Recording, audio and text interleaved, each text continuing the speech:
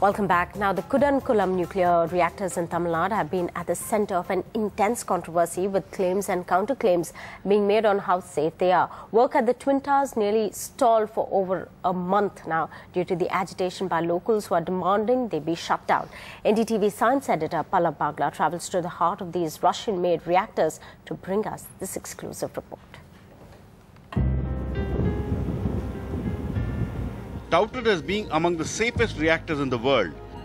These two huge domes are part of what some would call modern temples of India, and others would describe them as evil structures. Between them, they will house over 200 tons of enriched uranium to power homes in Tamil Nadu, Karnataka, Kerala, and Puducherry. But things have not gone according to plan. The secrecy at these plants and a series of communication errors have made people fear that something is amiss at the nuclear reactors. We posed that question to the head of the facility, who is apologetic, but only as an afterthought. We really feel sorry that we could not communicate to them when we're trying to do this test. And uh, we will definitely take this as a, um, a learning point for us. But how representative are the protests?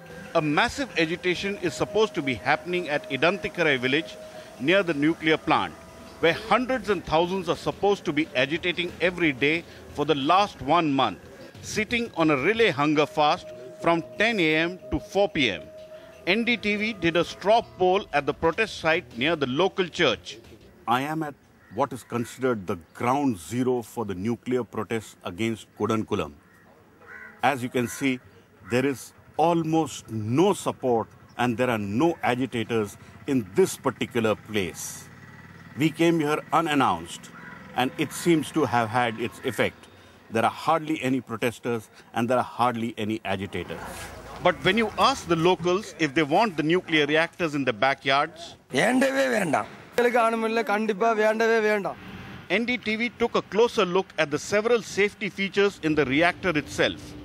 To prevent radiation leaks, the fuel is enclosed in a steel vessel covered with two hermetically sealed concrete walls, which are some 1.2 meters thick.